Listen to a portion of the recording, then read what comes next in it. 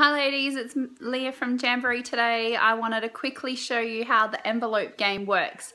This is the only game that I've been playing in my in-home parties and it's basically to generate more parties so that more people place bookings and they want a prize, they want something. And this is what's gonna get them to have their party. So I've been using the old catalog and I've been making my own envelopes. Pretty cool, hey? Um, really, really simple and just using sticky tape and making them up as my own. Um, and inside I've been putting these little prize things. So this one says, oh, sorry, upside down.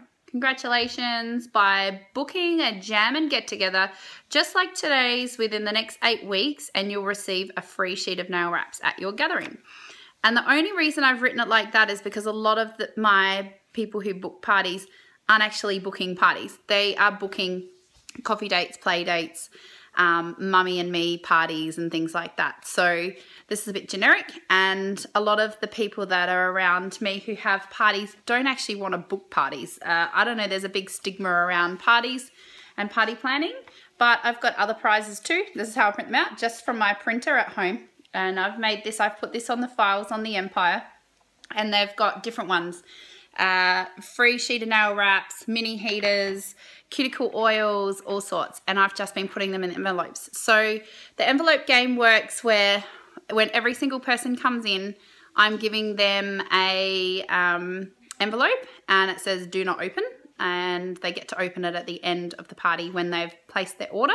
Once they've placed their order, I will then um, say, yeah, you can open your envelope, go for it they open it up and they win a prize. So they only win the prize if they're going to book a party within the next eight weeks because I'm also front loading for the next month, which everybody should be or trying to achieve. And some people can't do the next month and they've just been to their friend's party. So I'm giving them two, two months to book the party.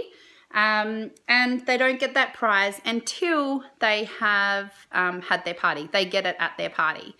It's an awesome way. Not everyone will want to have a party, but it's an awesome incentive because if people don't buy the mini heater, they're going to go, well, now I could have a party and I could get a free mini heater. So it's a really, really good incentive.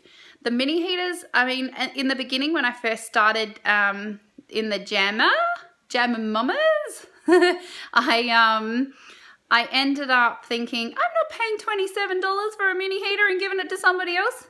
Doesn't work like that. Start thinking of it as um, it's a massive reward for that person and that party's going to pay off. Uh, by purchasing a mini heater maybe at your 50% uh, off if you've had your own party um, and you've got your coupons, you can buy uh, mini heaters at 50% off and you're giving them away. Plus, if you're putting that into a party, you're collecting PRV points too. So you're going to get a little bit more of a rebate off as well. Uh, other things uh, work exactly the same. So half sheets of wraps, full sheets of wraps, um, manicures, pedicures, all that sort of stuff. Put them in there as the free incentive to have their own party. Um, the envelope game works.